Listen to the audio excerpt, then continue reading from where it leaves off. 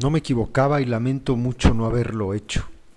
Cuando apareció el primer, el primer muerto que habían desollado en el caso de Julio César de Ayotzinapa en Iguala, dije que esto era el nuevo método que iban a utilizar para infundir terror.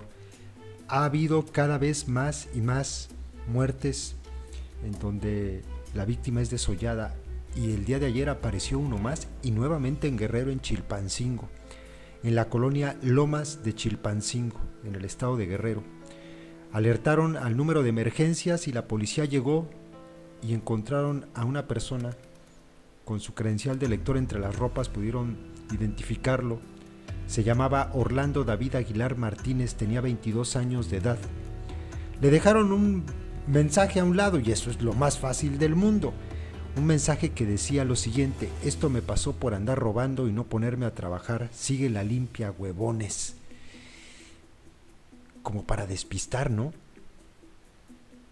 Como para despistar, pero ¿quién, quién hace ese tipo, este tipo de cosas? Yo insisto, no, esto no lo hace un conjunto de vecinos que se haya unido para detener a los delincuentes y que lo hayan linchado. No, no, no, no, no. Esto va más allá, mucho más allá de eso.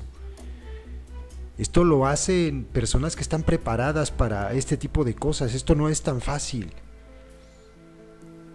Y nuevamente en Guerrero. ¿Qué banda de criminales entrenados por quién está operando en Guerrero, que es el lugar donde ha habido desollados en el último año, desde lo de Iguala, desde lo de Ayotzinapa, hasta el día de hoy con esta persona de 22 años. Es el nuevo método, la nueva forma que tienen para aterrorizar al pueblo, insisto, es así.